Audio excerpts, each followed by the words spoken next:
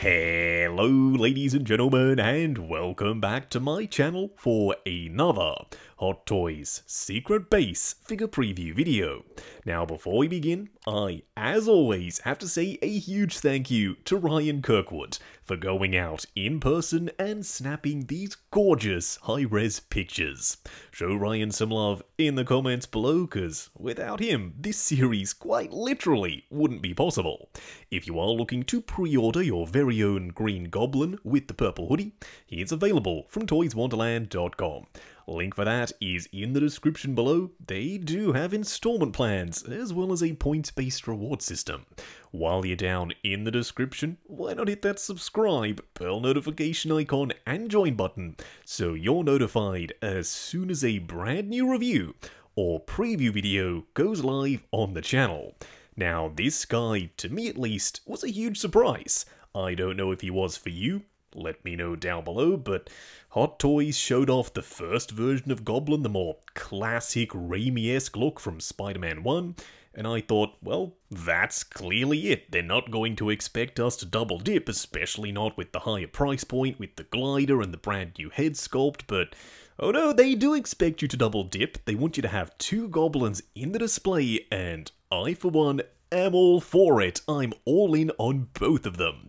Do let me know which you prefer, which one you'd rather go with, or are you getting both like me? As I said, let me know. Now, he does come with a full array of hands, but they're not the exact same hands as the other goblin. There's some kind of Greebly style silver tech plates on the outside of his hands, now, I wouldn't be surprised if the molds for the gloves are identical, they've just added some of that detail on the outside and painted it silver. Now, I still would love to have pairs of every single hand, but Hot Toys, it seems, are being stingier and stingier with their hand selection as time goes on. As I said, I don't love that. He does come with a couple of blades, as you can see, they snap onto the gauntlet, a pumpkin bomb or two, as well as the goggles. Now, I would have loved to have seen the helmet here, I know. It's not accurate to have the helmet on in this outfit, but with the purple hoodie and the helmet, I've seen some photoshops online and it looks really really cool.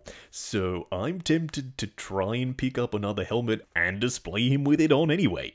Now this is the exact same head sculpt that we're getting with the other goblin, so if you're wondering, because when they announced that one, they blurred out the head sculpt because they weren't done yet. Yes, both of these goblins share the exact same head sculpt. Now, they also share the same style of display base, it's hexagonal, and it's a rather small footprint. So that has me wondering, okay, he's supposed to balance on the dynamic flight pole and stand on the glider. The glider itself shouldn't be super light, so is this thing going to topple over, or is it going to be sturdy and planted? Now, I don't exactly know the answer to that question yet.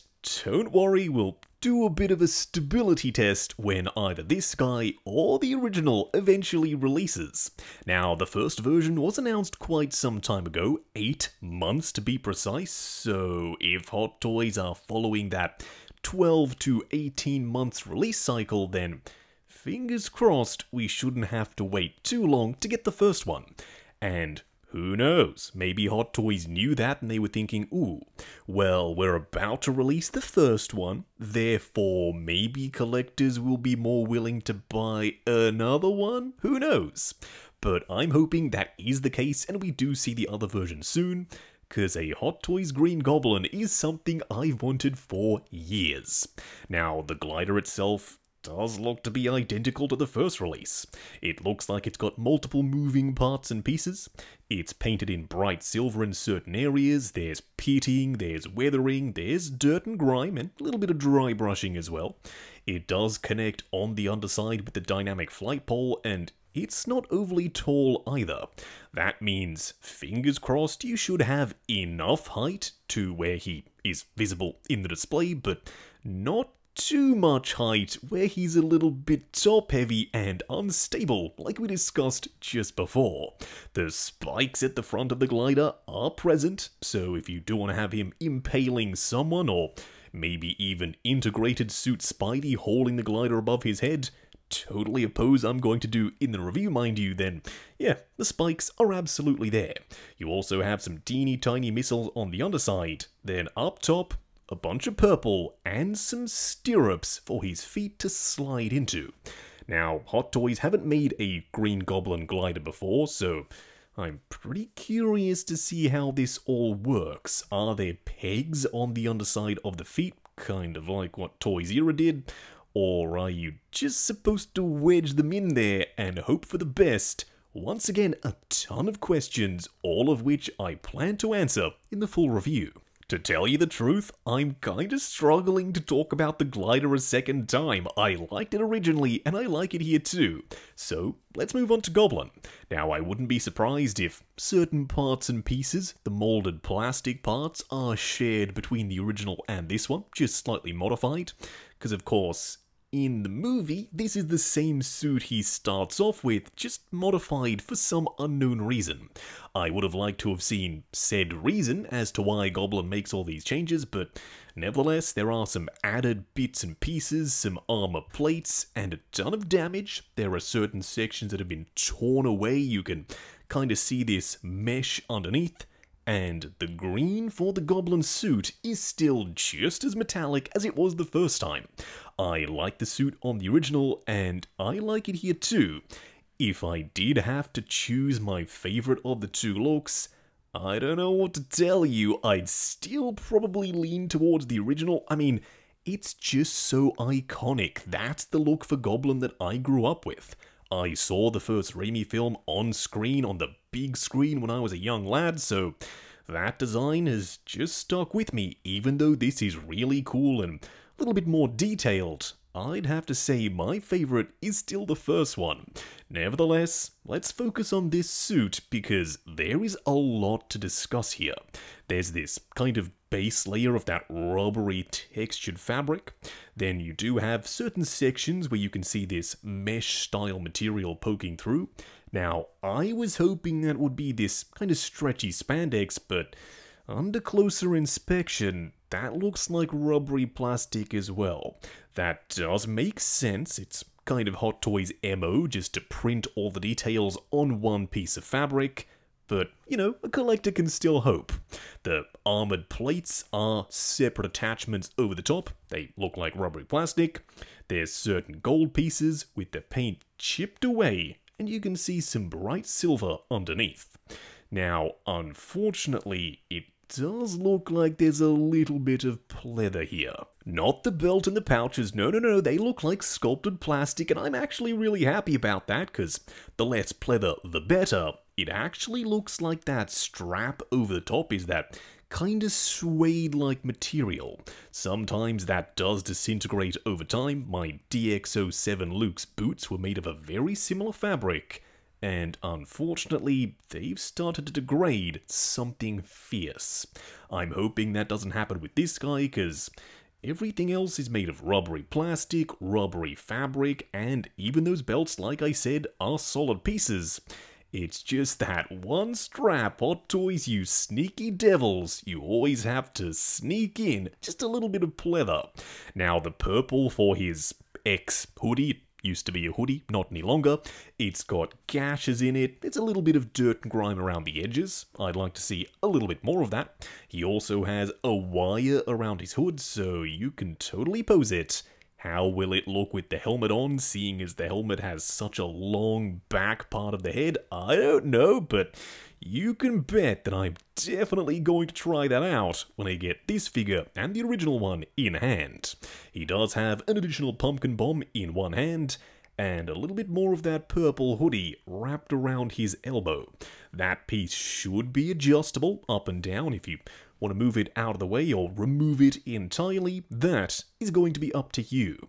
On the other side, he's got this strapped on bracer. That's of course where you'll find the blades, and don't forget, you've got the switch out ones from earlier as well. One shorter set and one longer set, kind of like Hot Toys Predator figures from back in the day.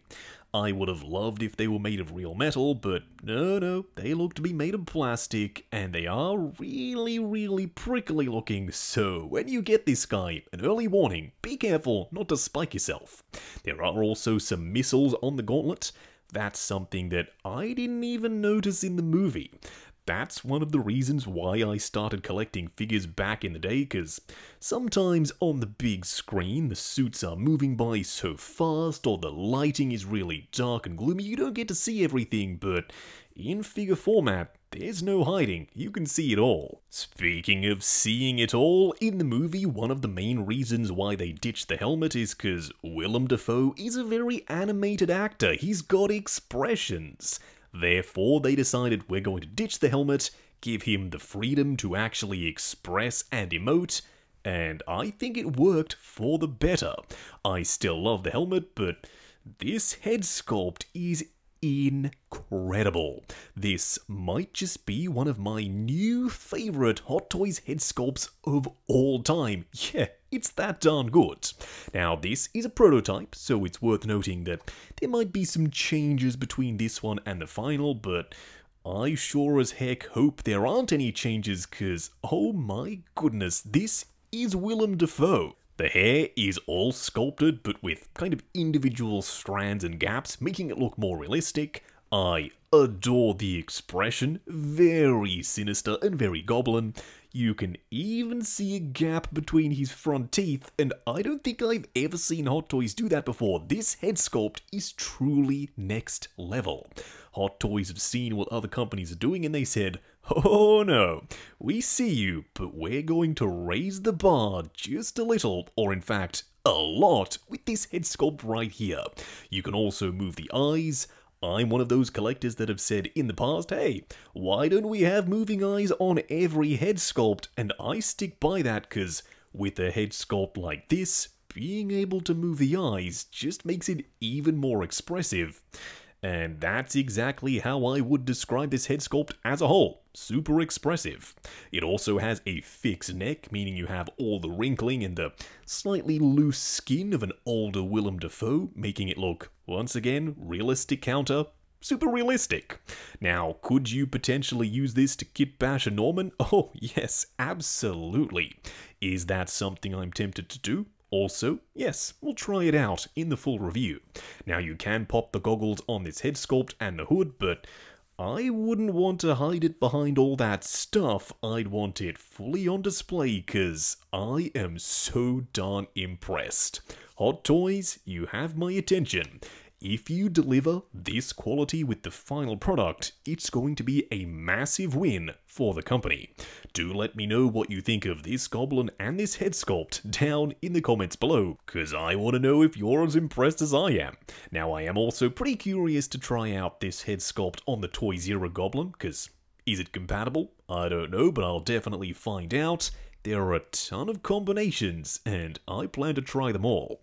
Now, if you are looking to pre-order this Goblin, or the other one from 8 months ago, they are available from ToysWonderland.com. Link for that is in the description below. While you're down there, why not hit that subscribe, bell notification icon, and join button if you like the sound of seeing your name in the end credits of my reviews. Like, comment, and subscribe, and we'll catch you in the next video.